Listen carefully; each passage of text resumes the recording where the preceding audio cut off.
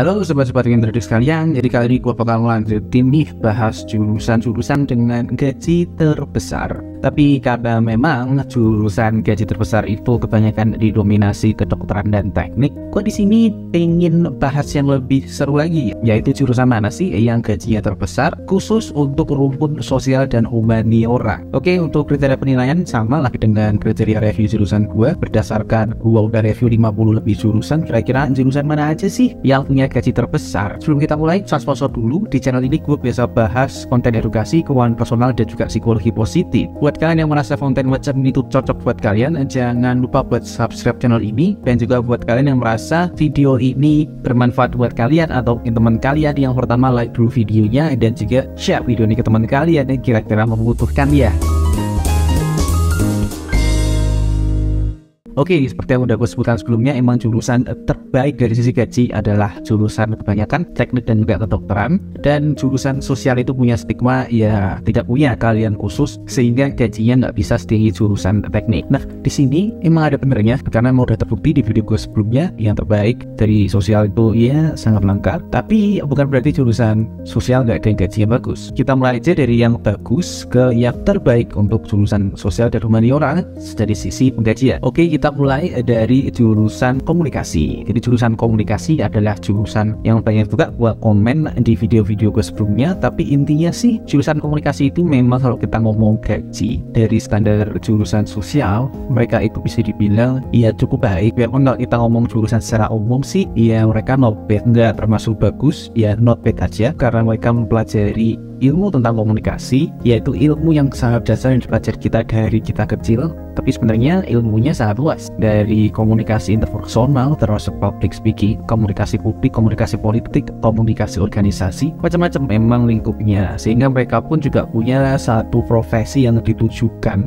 Di perkantoran itu mereka ada posnya khusus untuk urusan komunikasi. Biarpun tidak berarti mereka dikhususkan banget persyaratan jabatannya harus lulusan komunikasi. Ya, itu adalah bagian humas, hubungan masyarakat, dan kesekretariatan, dan juga biasanya itu bagian CSR gitu. Nah, itu memang posisi-posisi itu punya kesan yang sangat kental dengan komunikasi, tapi ya permasalahannya dengan mereka biasanya nggak harus lulusan komunikasi. Untuk kesekretariatan, orang hukum juga bisa, untuk bidang-bidang yang lain pun, bahkan orang teknik itu bisa menjadi humas. Tapi intinya sih, banyak juga sih posisi yang punya gaji besar dan dari lulusan komunikasi. Contohnya ini marketing yang sifatnya closer dengan background marketing communication itu bisa lebih cepat dicapai gajinya besar dan ya mereka cukup terserap lah di industri. Mereka itu secara gaji memang agak di atas standar ya. Selanjutnya adalah jurusan psikologi. Jadi jurusan psikologi udah gua bahas di video lain di mana jurusan psikologi ini syarat ya dengan psikolog. Dan memang sih lulusan psikologi ini bisa banget menjadi psikolog antara teman-teman ambil magister psikologi profesi atau nanti ke depannya ada psikologi profesi non magister. Intinya sih ke depannya memang menjadi psikolog itu akan lebih mudah dan seorang psikolog itu punya standar gaji yang sudah ditetapkan ya. Biarpun mereka itu tidak tinggi-tinggi banget tapi urusan psikologi itu biasanya sih untuk penggajian itu cukup standar karena memang mereka sangat dibutuhkan di perusahaan khususnya untuk bidang HR atau SDM itu mereka akan sangat mencari lulusan psikologi biarpun mereka bukan psikolog tetapi biasanya mereka itu dibutuhkan di situ penggajian untuk perusahaan yang sampai butuh orang yang khusus mengelola SDM itu biasanya sih bagus ya. Dan mereka pun secara keahlian itu dispesifik ketimbang lulusan komunikasi ya karena komunikasi itu kan ilmunya sifatnya luas. Kalau psikologi itu lebih ke manusianya manusia itu harus dibuat seperti apa supaya supaya engage harus dibuat seperti apa supaya kinerjanya baik tidak punya masalah mental itu adalah subjek dari psikologi di mana itu memang ada harganya ya ilmu seperti itu. Sehingga untuk standar pengajian psikologi ini kita bicara di kelas sosial termasuk yang baik ya biarpun kalau kita bicara secara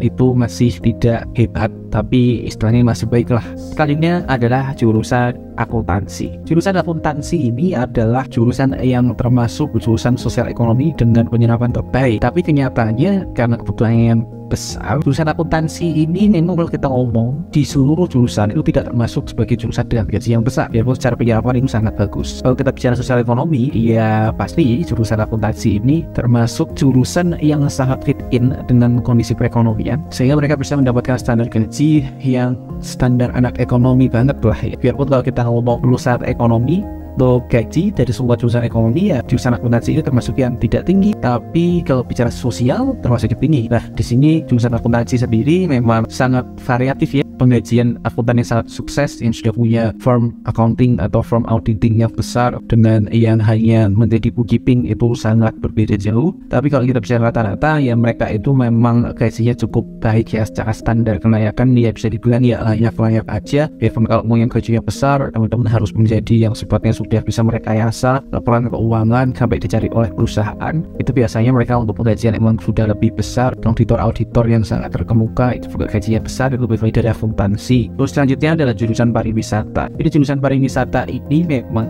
sebenarnya lebih mirip ke jurusan manajemen untuk sektor pariwisata. Jadi mereka sangat terikat dengan sektor pariwisata, perhotelan, turisme, convention, hal-hal seperti itu adalah bidang pekerjaan yang didalami oleh lulusan pariwisata. Di mana pada bidang-bidang studi itu khususnya sifatnya properti, itu mereka akan punya standar penggajian yang emang lebih baik lagi ya karena lulusan pariwisata itu harusnya kalau jadi manajemen training itu mendapatkan posisi yang benar-benar tidak dari bawah dan posisi-posisi itu pihak kalau kita ngomong penggajian itu standarnya secara umum itu bukan standar yang hebat sekali. Kalau kita bicara secara sosial ekonomi masih termasuk ke strata yang tinggi. Dan teman-teman ini untuk urusan pariwisata khususnya teman-teman yang bisa mencapai ke resort atau hotel yang sangat tinggi tingkatnya ya itu sangat wajar banget kalau teman-teman pada posisi tersebut bisa mendapatkan gaji yang tinggi. Jadi lulusan pariwisata ini pun bersaing langsung dengan lulusan manajemen karena memang mereka tuh sebenarnya tak beda jauh dengan lulusan manajemen tapi mereka punya fokus di bidang pengelolaan pariwisata. Kalau mereka bertanding sama lulusan pengelolaan garis miring manajemen ya mereka pasti punya suatu competitive advantage itu biarpun ya tidak tertutup kemungkinan posisi peringkat di lulusan manajemen. Tapi secara umum sih untuk lulusan pariwisata ini mereka yang menjadi pengelola fasilitas pariwisata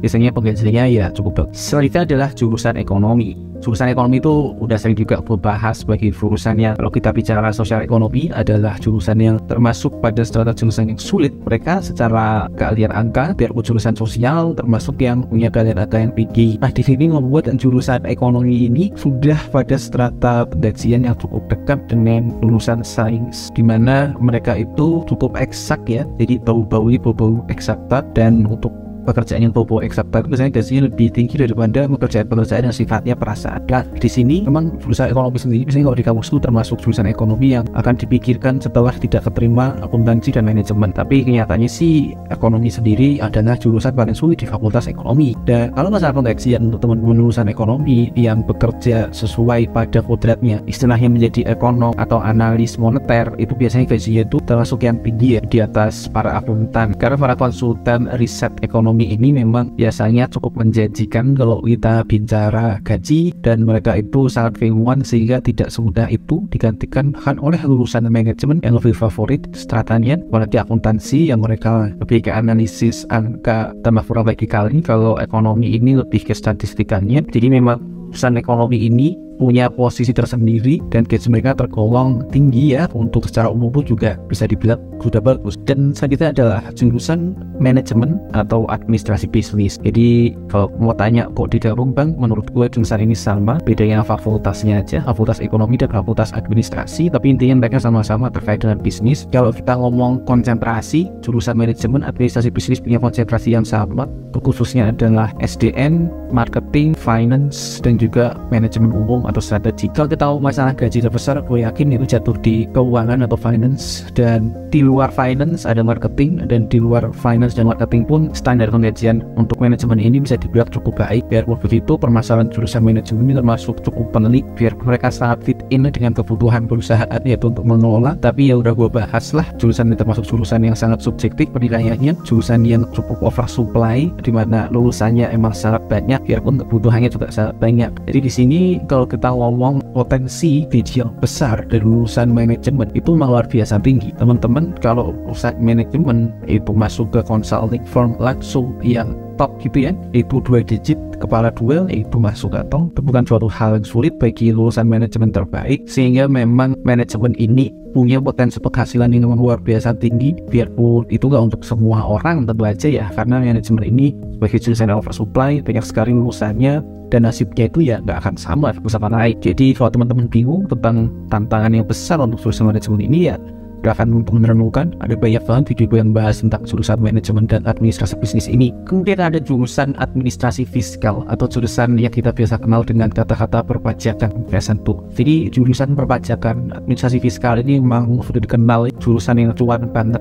Kalau gue ngomong sih tingkat cuan atau tingkat keuntungan perpajakan ini mirip lah dengan lulusan finance. Karena mereka ini biasanya sih kalau menjadi konsultan perpajakan itu sama lah dengan para manajer investasi. Gimana mereka mengelola keuangan dari klien mereka? Kalau untuk finance itu urusannya dengan keuangan personal atau keuangan perusahaan keuangan bagian. Kalau perpajakan ya terkait keuangan fiskal ya jadi untuk pembayaran pajak. Jadi potensi nilai tambah yang bisa dihasilkan oleh para lulusan perpajakan khususnya yang menjadi konsultan pajak itu memang besar banget. Mereka bisa menghemat atau istilahnya mengurangi beban pajak dari suatu badan itu luar biasa besar. Dan di situ sih memang jelas banget ya ketika suatu pekerjaan bisa memberikan nilai tambah itu dia bisa mendapatkan penghasilan yang lebih besar daripada jurusan yang tidak bisa melakukan hal sama. Dan jurusan perpajakan ini termasuk jurusan itu. Biarpun ya sama aja sih yang namanya jurusan perpajakan tidak sempurna tidak lepas dari masalah di mana memang jurusan perpajakan ini juga lumayan banyak juga yang mengeluarkan ya ijazah jurusan perpajakan ini. Dan nggak semuanya sih bisa bekerja di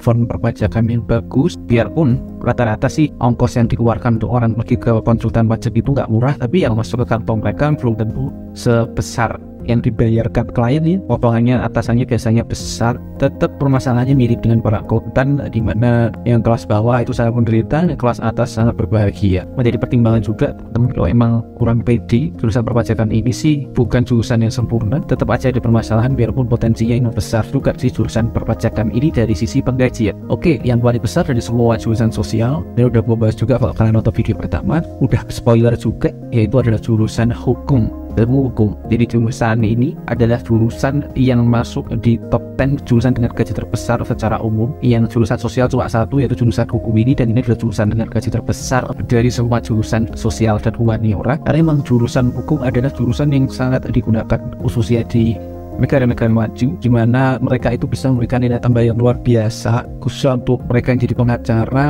menangani kasus-kasus yang besar yang bahkan bisa menyelamatkan orang dari penjara menyelamatkan orang dari tuntutan kerugian yang besar. Ya, kalau memang mereka itu jago ya potensi pendapatan dari profesi-profesi hukum tertentu itu itu ya menjadi sangat besar ya. Apalagi kalau kita bicara sosial dan benar sosial. Gak ada jurusan sosial yang punya profesi sejelas lulusan hukum psikologi itu sosial kecampur sains ya dan akuntansi itu profesi tapi ya, mereka ekonomi buat sosial kalau sosial pribadi orang banget itu kan hukum dan mereka punya potensi profesi aku katakanlah hakim pengacara kurator ya itu mereka adalah profesi-profesi yang dikenal dengan gaji yang besar. Kalau teman-teman jadi hakim itu gaji standarnya sih udah besar banget biarpun memang kata-katanya sih kemungkinan mas merasai besar tapi kalau kita bicara kata-kata kuda masalah gaji ya profesi hukum ini ya potensi potensi yang memang luar biasa besar sih. Oke kita udah sampai di penghujung video kali ini kurang lebih itu sih list jurusan gaji terbesar versi sosial humaniora kalau masih ada pertanyaan? Jangan malu-malu tulis aja di komentar kalau kalian suka dengan video ini jangan lupa buat like share video ini dan juga subscribe channel ini. Buat kalian yang merasa nggak setuju dengan video ini merasa jurusan kalian harusnya masuk. Ya nggak apa-apa. Teman-teman yang nggak terima dislike aja video ini. Well awas aku ucapkan terima kasih buat kalian yang udah nonton video ini dari awal sampai akhir dan see you in the next video. Bye bye